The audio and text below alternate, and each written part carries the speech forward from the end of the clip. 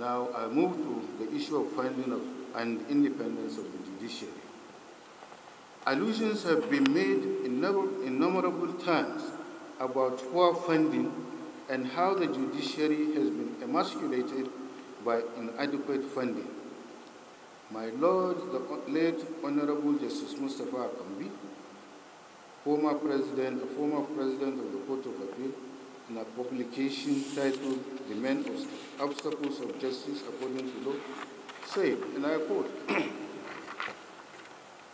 A good judgment flows from a mind that is not bogged by the thought of, where do I get my next meal? Or where do I get the money to pay my son's school fees?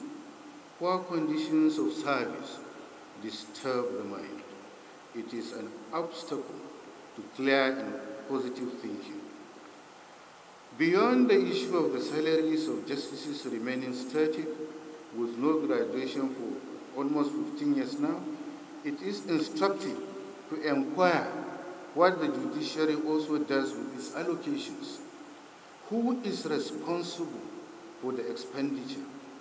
An unrelenting searchlight needs to be beamed to unravel how the sums are expended. In 2015, when President Muhammad Buhari became the president, the budgetary allocation to the judiciary was 70 billion naira. In 2018, appropriation bills submit, uh, submitted to the National Assembly, the president allocated 100 billion to the judiciary. The legislature increased it to 110 billion, 10 billion above the 100 billion appropriated for the 2017 fiscal year. At the end of President Buhari's tenure in 2023, judiciary's allocation had increased to 130 billion. 130 billion.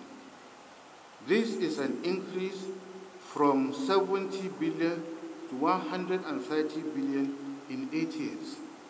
The present government has allocated an additional sum of 35 billion naira to the judiciary for the current financial year, making the amount of money accessible by the judiciary to 165 billion naira.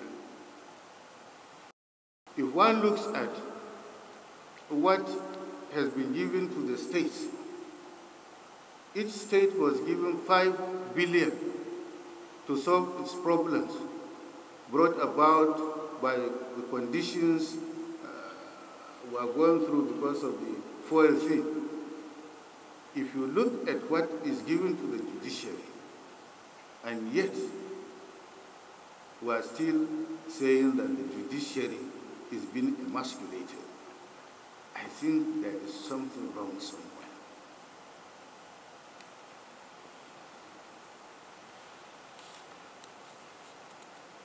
More than 80% of the amount appropriated by the Ninth Assembly has so far been released to the judiciary. It is envisaged that the additional 35 billion naira will equally be released by the present government. I'm sure it will be released by the present government because I, I know the antecedents of Mr. President. Because when he was governor in Lagos State, I was privileged to be the, in the Lagos State Division of the Court of Appeal. And I knew his attitude towards the judiciary. I don't think he would be flippant to say that he's doing this and to recline from doing that. I'm very, very optimistic that that amount of money will be released to the judiciary as well. Now, notwithstanding the phenomenal increases in the sums appropriated and released to the judiciary, justices and officers' welfare and the quality of service of the judiciary, the, the judiciary render have continued to decline. There is an unpredict, you know, a terrible decline in the services and the welfare of justices and officers of the institution. I should know And I know, and I'm saying it as I know them. It may interest one to know that, and this is another ridiculous thing, that the Chief Registrar of the Supreme Court earns more than the justices of the court. It's not something of today. This anomaly has been in existence all these years. I was a, a chief registrar in 1986. I knew what uh, salary I do vis-a-vis -vis what the judges of the High Court that I served were taking. Supreme Court is the apex court. And yet, the chief registrar of this court earns much more than I do, earns much more than we all do. And nobody talked. Nobody talked.